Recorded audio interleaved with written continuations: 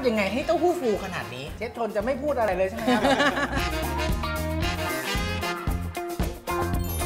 กูรูมืออาชีพวันนี้นะครับบอกได้เลยว่าร้านที่มาที่นี่นะฮะเป็นร้านอาหารมังตวิรัตนะครับที่เปิดมากว่า 10 กว่าปีนะฮะจะเป็นร้านไหนไปไม่ได้เลยนะครับนอกจากร้านครัวบุญอาหารไทยมังตวิรัตครับสวัสดีครับคุณสวัสดีค่ะเชฟชนสวัสดีครับ ผมถามเลยแล้วกันในฐานะที่ปกตินะ ตัวผมเนี่ยรับประทานเนื้อสัตว์อยู่แล้ว วันนี้มาเนี่ยผมบอกเลยนะ อาหารที่อยู่บนโต๊ะเนี่ยผมดูไม่ออกเลย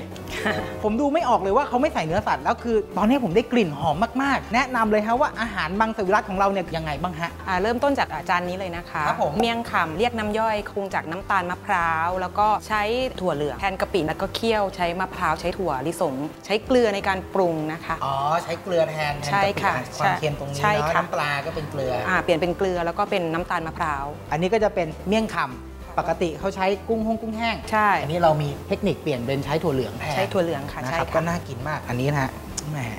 เดี๋ยวเรามาชิมทีหลังพร้อม ๆ กัน หลังจากเมี่ยงคำครับ อ่าก็จะเป็นยำข้าวทอด อุ้ยปกติอ่าเหมือนใช่ หนังหมูใช่ค่ะ เราใช้อะไรอะ ใช้ข้าวอย่างเดียวเลยค่ะ ก็เป็นข้าวปรุงรสแล้วก็ยำใส่เครื่องยำหอมอ่า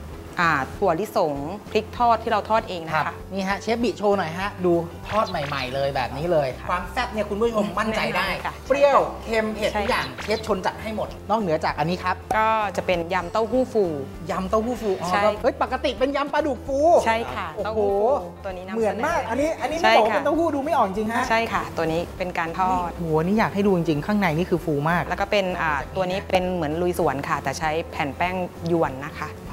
ก็มีเต้าหู้และมีผักสดสำหรับคนที่รักสุขภาพ น้ำจิ้มของเราตัวนี้ก็จะมีหอมกระเทียมนะคะ จะเป็นอ่าใช้ผักชีผ้าเห็ดกรอบนะคะอ๋อก็จะเป็นอ่าเห็ดชุบแป้งทอด ราดน้ำยำสมุนไพรตะไคร้ใบมะกรูดสะระแหน่ ก็จะมีสมุนไพรเครื่ใช่องค่ะหอมๆเลยอารมณ์เหมือนผ้ากุ้ง มาที่อาหารจานหลักดีกว่าครับก็ผัดปลาเค็มเจ แล้วใช้อะไรแทนปลาเค็มปฮะลาเค็มนี้ก็จะเป็นถั่วเหลืองค่ะอ๋อแล้วก็มีปรุงเพิ่มปรุงรสด้วยสาหร่ายให้มันอ๋อกลินอายของแบบทะเลความทะเลอูมามิมาแทนนะอ่าใช่ค่ะแล้วก็จะมีข้าวผัดหนำเลียบอ่าใช้เป็นมะกอกดำปแล้วกติข้าวผัดน้ำเลียบจะเป็นผัดกับหมูสับใช่ค่ะที่ใช้เต้าหู้เต้าหู้โอ้แต่ค่ะดูน่ากินเหมือนกันเลยเต้าหู้สับโซบะผัดซีอิ๊วโซบะผัดซีอิ๊วใช่ก็มีเห็ดมีคะน้าเหมือนผัดซีอิ๊วและอันนี้แหละครับในลูกมะพร้าวสวยงามเลยห่อหมกมะพร้าวอ่อนนะห่อคะหมกมะพร้าวอ่อนใช้เต้าหู้เต้าหู้นิ่มแล้วจะ feeling เหมือนกับฉู่ฉี่ขออนุญาตเลยแล้วกันนะฮะได้ค่ะเลยนะฮะที่พูดมาทั้งหมดผมจะชิมทั้งหมดเลย วันนี้ผมจะเปลี่ยนเป็นมังสวิรัติแล้วครับผมโซบะก่อนนะค่ะคือกลิ่นนี่คือเขายั่วยวนมากๆผมพูดเลยเส้นสวยงามฮะ ดู คืออดใจไม่ไหวจริงๆ ผมเป็นแบบสายคาร์โบไฮเดรตอื้อหือหอมมาก หอมมากอื้อหือโซบะเนี่ย ส่วนใหญ่อะจะหวาน ส่วนตัวผมแบบเฉยๆ กับรสหวานนำแต่อันเนี้ยคือไม่หวานเกินไป อร่อยมากแล้วหอมมากเลยอะ ขออนุญาตเมี่ยงคำนะครับ ในนี้มีอะไรบ้างนะฮะกิ่งมีขิง มีมะพร้าวคั่วพริกขี้หนูพริกขี้หนูมะนาวมะนาว แล้วก็น้ำเมี่ยงสุดเด็ดที่เขาใช้ถั่วเหลืองแทน ขออนุญาตโชว์ให้คุณผู้ชมเห็นกันแล้วกันนะ คล้ายกับเพจแบบนี้เลยเนาะ ใช่ค่ะ โอ้โหหอมหอมถั่วเลย เมี่ยงคำมังสวิรัตอะมาครับ มีความเผ็ดของพริกมีมะนาวแล้วก็มีผิวมะนาวหอมๆอยู่ละแต่น้ำเมี่ยงอันเนี้ยไม่หวานจนเกินไป ไม่เค็มจนเกินไป ถั่วเขาหอมมากรู้เลยว่าเขาค่อยๆคั่วอย่างดีแล้วก็ค่อยๆบดมา อันนี้ยำเต้าหู้ฟูยำเต้าหู้ฟูใช่นะครับค่ะนี่ครับคุณพระคุณเจ้านะฮะดูต้องขอเอียงแบบเบามือนิดหนึ่งนี่คือความฟูฟ่องของเต้าหู้ที่เขาไปทอด ทอดยังไงให้เต้าหู้ฟูขนาดนี้เช ฟชนจะไม่พูดอะไรเลยใช่ไหมเชฟจะเก็บความลับนี้ไว้กับเชฟคนเดียวใช่ไหมฮะไม่เป็นไรฮะคุณผู้ชมอยากรู้เขาต้องมาชิมถูกไหมฮะเชฟ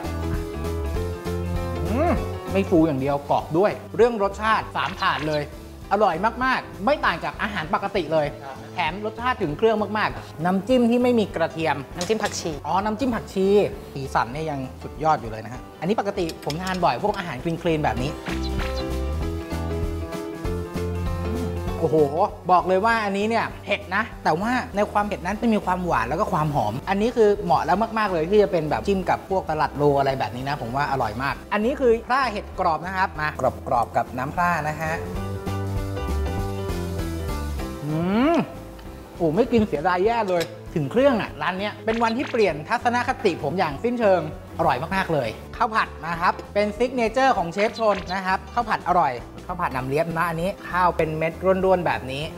โอ้โห บอกเลยว่าหอมมากอืม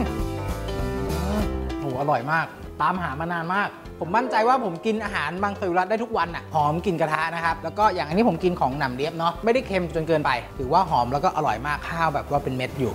สุดยอดจริงครับ อีกหนึ่งเมนูนะครับที่อยากให้ทุกคนมาสั่งกันนะครับห่อหมกมะพร้าวมะพร้าวอ่อนค่ะมะพร้าวอ่อนนะครับ ข้างในจะเป็นเต้าหู้ค่ะ เต้าหู้นะครับ อุ้ยโอ้โหอันนี้ไม่กินเสียดายเลยนะเนี่ยเออเนื้อมันดูแบบดีมากเลยอะอืมตอนแรกอะดูไม่ออก คือห่อหมกอะปกติก็คือเนื้อจะเนียนไปเลย แล้วก็อาจจะมีชิ้นปลาอยู่ข้างใต้อะไรอย่างนี้เนาะ พอเรากินเข้าไปไอ้ย่า